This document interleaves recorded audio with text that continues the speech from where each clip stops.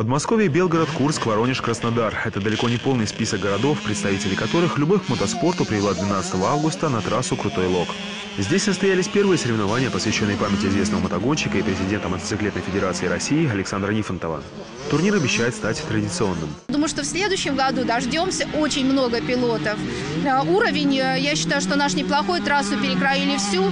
Две недели эту трассу перестраивали, чтобы все углы, чтобы все там э, градусы соответствовали международным стандартам. На сегодняшний день они соответствуют. Рев моторов, крутые повороты и холмы, с которых участники в буквальном смысле взмывали воздух.